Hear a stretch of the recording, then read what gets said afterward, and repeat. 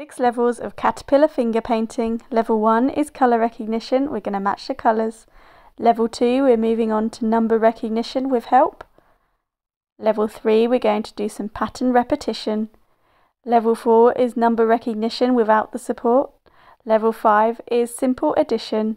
Then moving on to level six, we're going to count the caterpillar body and write the total.